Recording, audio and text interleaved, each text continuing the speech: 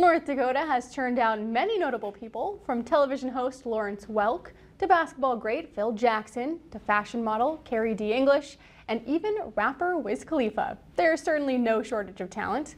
Tonight we'll learn about an innovative pioneer from Krista Kudrowski. Krista? Thanks, Emmeline. You know those boxes of photographs you or your parents have stored somewhere in the house? You may owe some gratitude to one North Dakota man credited with inventing portable photography for all those captured memories.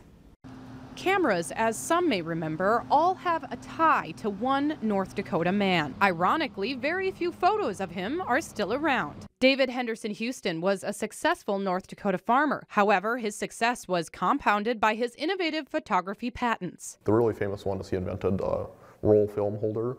Um, at the time, photographers were still using sensitized glass plates instead of uh, flexible photographic negatives. They actually hadn't been invented yet at the time.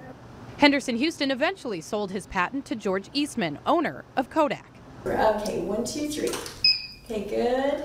Deborah Cates says professional photography still requires a certain level of skill and attention to detail, but it has changed dramatically since the days of film.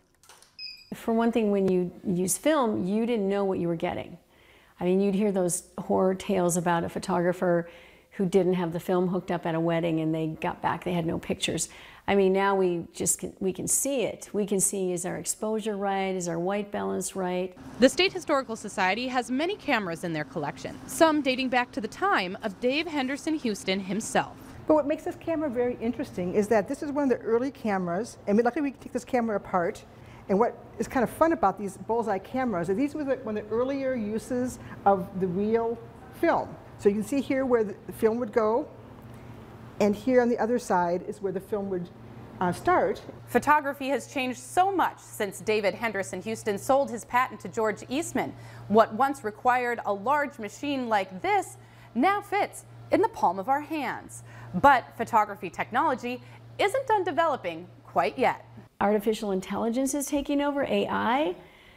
And to be honest, a lot of the landscapes you see with these amazing skies and amazing, it's not even real. It's pulled from another image. It's rumored that the Kodak name is a play off of North Dakota's abbreviated name, Nodak. However, Eli says it's possible, but the Kodak name was trademarked before Henderson Houston sold his patent to Eastman. The State Historical Society is always searching for well-preserved items or objects with connections to North Dakota.